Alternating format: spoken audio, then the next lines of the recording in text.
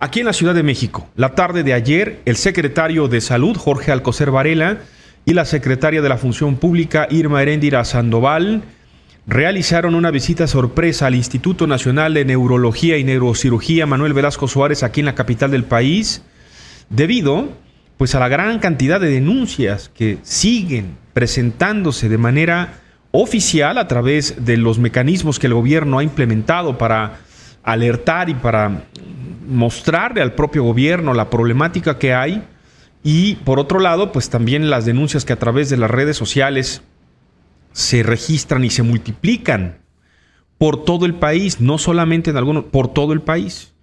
Bueno, ayer se presentan, qué bueno, este es una, una buena, un buen ejercicio, ¿eh? esto de no avisar y ya llegamos y bueno, pues escuchar a la gente, hay que decirlo también. Ese es un excelente ejercicio. Eh, ¿qué, fue lo que encontraron los secretarios de la Función Pública, la secretaria de la Función Pública, Irmeréndira Sandoval, y el secretario de Salud, Jorge Alcocer?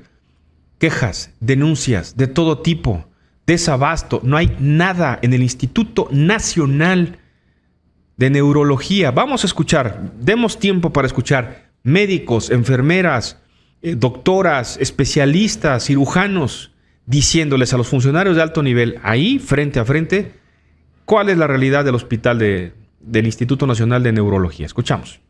Este, tenemos, eh, presentamos escasez de material, principalmente de este, insumos como son este, sedas, gasas.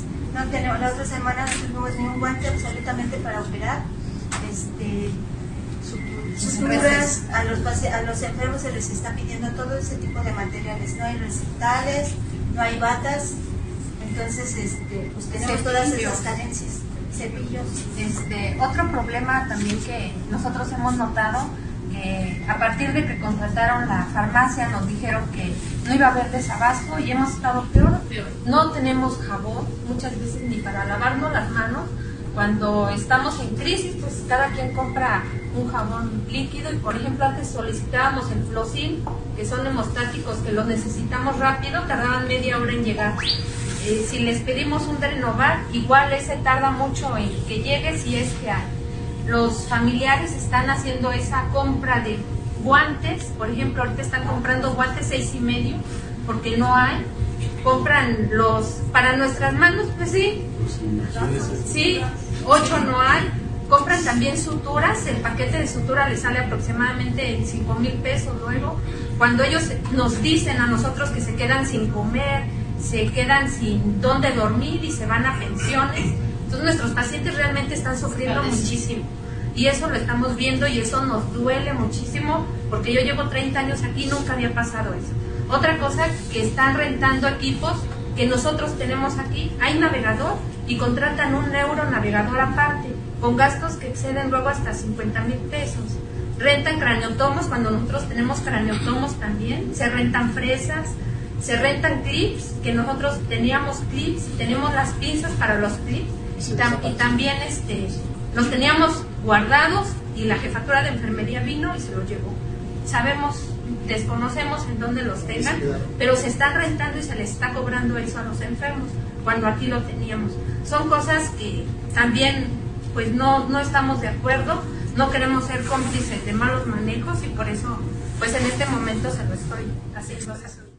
Es decir, ahí de viva voz, el secretario de Salud y la secretaria de la Función Pública corroboraron que la versión del desabasto de medicinas no es ni una campaña eh, para perjudicar, digamos, eh, este, a la imagen del gobierno del presidente López Obrador, ni para ponerle el pie, ni para ir en contra del INSABI. Es una realidad, pero además, como tal como estamos escuchando, el proceso de transformación ha llevado a una complicación que si ya existía, porque ya había un problema histórico de, desabasto de medicamentos, de que nunca se ha tenido el total de los medicamentos disponibles para la derechohabiencia, ya no hablemos para quienes no tenemos derecho a un servicio de salud pública gratuita, ¿no?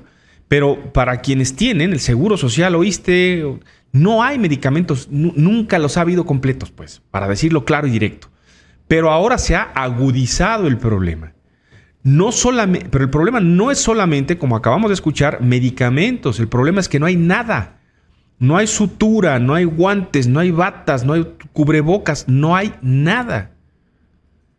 Además, hay una serie de irregularidades que pasan por falta de mantenimiento, no funcionan los aires acondicionados, no hay, no hay aislamiento biológico para los enfermos. Imagínense a alguien que acaba de ser operado del cerebro, literalmente, que le operaron, le abrieron la cabeza para quitarle un tumor o algo, y se les infecta porque lo tienen que andar paseando en una zona en la que está contaminada. A ver, vamos a escuchar lo que dijo un especialista sobre ese asunto. que me acompañen al quirófano externo para que vean desde el trayecto donde debemos llevar a los pacientes que están en la terapia intensiva hasta la consulta externa para que puedan ser atendidos. Son pacientes críticos regularmente porque los procedimientos son traqueostomías o de la recuperación este, de infecto. Entonces sí los invitaría a que me acompañen para que vean todo el trayecto que tiene que pasar el paciente, desde el hospital hasta la consulta externa donde está el quirófano externo, el área donde estés totalmente aislada, incomunicada, casi solamente hay un teléfono, no funciona ni el voceo, no cumple las normas, igual que nuestra área de quirófano, yo los invité a pasar hasta acá para que vean que no tenemos aislamiento topográfico, por lo tanto no hay aislamiento microbiológico. No funciona el aire acondicionado regularmente. No tenemos control de temperatura, control de humedad. Las salidas de emergencia es solamente por, por atrás de un pasillo. Entonces el diseño no es el ideal.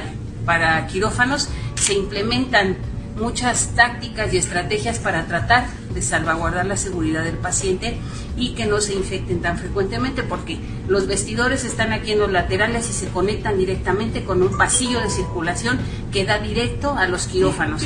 Las puertas de los quirófanos están cayendo porque son muy pesadas y todo el sistema está mal.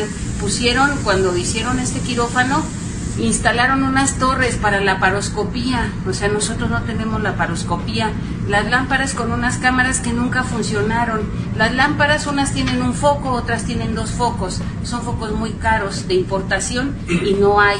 Pero encima de todos estos problemas estructurales, se le cobran a los pacientes. Bueno, ahí están las voces, ahí estaba el secretario de salud del gobierno federal, ahí estaba la secretaria de la función pública.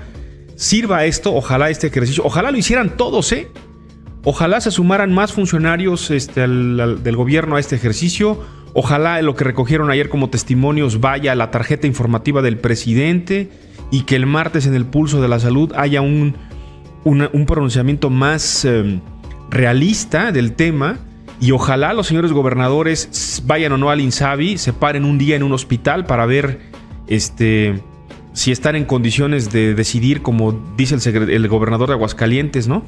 Este, o, el de Michoacán, después de que una mujer dio a luz en el pasillo, que está muy enojado, o así, ¿no? Por el estilo.